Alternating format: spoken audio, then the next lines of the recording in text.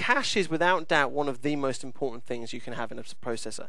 It really does improve the performance of your system. Let me show you how it does it. Now I've got a little diagram here in the notes.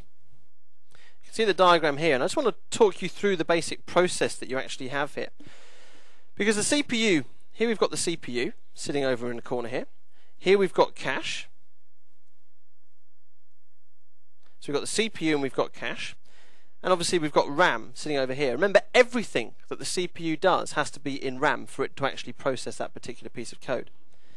Now, this is the magic device. This device sitting in the middle here, the cache controller. Because the cache controller does a very, very good job for the CPU. Let me describe to you the basic process that happens. I'm actually going to do this on a separate piece of paper. But the diagram's the same, so you can just annotate your ones in the notes if you want. But I'm just going to try and clear some of it up. Right, we've got the CPU here. We've also got cache sitting here. We've got the cache controller, so CC for cache controller, and we've got RAM. Now I want you to imagine, first of all, there's two different types of cache. Or let me rephrase that. There are two jobs that cache does for you. First job is it holds on to commonly used instructions as a classic example. Imagine a picture on a monitor, and you've got the sky and the land. And up in the top corner, you've got pixels. Obviously, the monitor is broken down into lots of pixels. Now, if you've got a simple picture of the sky and the land, then there's going to be a lot of blue in that picture, isn't there? And there's going to be a lot of green in that picture. Now, the processor has had to work out the colors for each one of those pixels and provide that information to the graphics card. Now, it could, if it wanted to, do the same calculation for every single pixel. Or it could say, hang on, that's a pixel, okay, but that's the same. So I'll just use that same calculation again. There's not, oh, same calculation again. It's a bit like me saying to Victor, Victor, um, sorry, what's 2 plus 3? 5. 5, okay, cool. I've got another question for you. Uh, 2 plus 3? 5. Okay, I've got, I've got another question for you. 2 plus 3? 5. You see what I'm saying? There's no point in going through the whole process of just remembering that stuff again. So why not just store it somewhere so that if anybody else wants that answer, it's immediately there for him? And that's one of the jobs that cache does. And that's the most simple one for me to describe. But there's a second job which I just want to quickly run through. Um, yep, go for it, Michael. Um, to how much detail does the cache, um, sort of what level of detail does it go to? Well, remember, like, um, say, a graphics detail equation Yeah. to work out some graphics, or is it just basic operations that tend to be repeated often? You've hit the nail on the head. Basic operations or even complex operations that tend to be repeated often. What the cache controller's job will do is it'll look at certain information that's going from one thing to the other and say, hang on, this is the same bit of information. Why do I keep giving him that same question? Let's just give him the same answer back. There you go, there's the answer. You're with me? So it depends. Yeah, it can be complex, but the key is commonly used instructions or commonly used calculations. Cool. Second thing you can also have with cache is it can do something called reading ahead. Let me describe to you what that means. First thing, let's pretend we've got our CV open in Microsoft Word.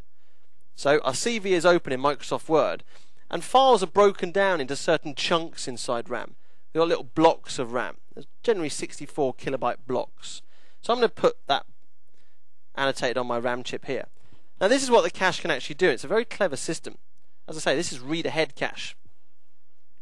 The way it works is the first thing the CPU does is the CPU, when it tries to open or use, make use of this particular file that's being stored in RAM, is it says, Excuse me, Mr. Cache, do you have this file that I need?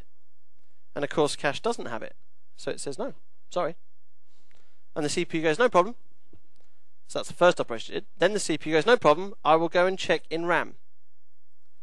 And of course, it finds it in RAM because there's the file. And it can only bring over one chunk at a time. So it grabs hold of that chunk, transfers it back into the CPU, and starts working on it. And this is where the intelligence kicks in because the cache controller makes a very, very good assumption. The cache controller says, oh, hang on. He's just used that particular piece of code relating to that file. Isn't it logical, therefore, that he's going to need to use the rest of that code at some point very shortly in the future? Obviously, bear in mind, guys, this is happening lightning fast. But it makes that assumption. It says, okay, perhaps it's going to need this particular piece of code. So this is what the cache controller does. The cache controller grabs hold of that chunk, grabs hold of that chunk, and grabs hold of that chunk, and moves them into cache. So there they are. They're now sitting inside cache. So when indeed that does happen, in other words, the CPU now needs to find the next piece of information, where did the CPU ask first? Cache. Cache. So it says, excuse me, Mr. Cache, do you have this file I need? And Cache says, sure, there you go. Goes cool. Goes for the next one. It doesn't come to the RAM again. No, because it doesn't need to, because the cache controller has moved it into the RAM, into the into cache for him. It then gets the next one and the next one. So it saved it from having to go to RAM at all. It's just now able to go to cache. Now, I'm guessing a few of you are thinking, well, okay, I can, it's all well and good, but why? Why not just go to RAM? And there's a very simple reason for this. Because cache is very, very fast. Much faster than RAM. RAM is still fast, but it's not quite as fast. So we'll just put very fast. Cache, very, very fast. RAM, just very fast. If you compare it to a hard drive, it's very fast. But compared to cache, nowhere near as fast. So, two main roles of RAM. One, to store commonly used instructions and commonly used calculations. Two, to perform this reading ahead task. Bear in mind, guys, this is just a concept I've described to you here, using a Word file as an example. I'm not, don't think literally with this, but it's grabbing hold of code that you're likely to need very shortly and it pulls it into cache so that when you go to look for it, it's there. The CPU doesn't care how it got there, it's just there. And the cache controller is doing that actual job. In reality, you're never going to have the whole of a Word file inside a CPU. It simply wouldn't fit. Go for it, Andy. You got a question? Yeah. Um, is there an an instance where a computer would only use whatever they use for cache as memory if it's so fast? Excellent. Brilliant question. What what Andy is saying is is that correct me if I'm wrong, Andy, but I think this is what you're saying is if this is very very fast, why not just use that for all of your RAM? Yeah. There's a very simple reason for that. A particular Intel chip came with 128k k of cache. Okay? Exactly the same chip, identical in every way apart from the cache. So in other words, it had more cache. So this is another chip with more cache, but was identical in every other way. It just had more cache. Was 100 pounds more expensive. So for 128 kilobytes of cache, is 100 quid. That's just an example. That's the, that's the Celeron processor, instantly. The Celeron processor is identical in every way to a standard P2. It's just got less cache. And therefore it's cheaper and able to compete with AMD, who were selling their processors cheaper at the time. Not so much anymore. Mm. Intel and AMD are the same price now because in, AMD got better. So Intel could no longer have the premium chip because they were they were now just as good as AMD.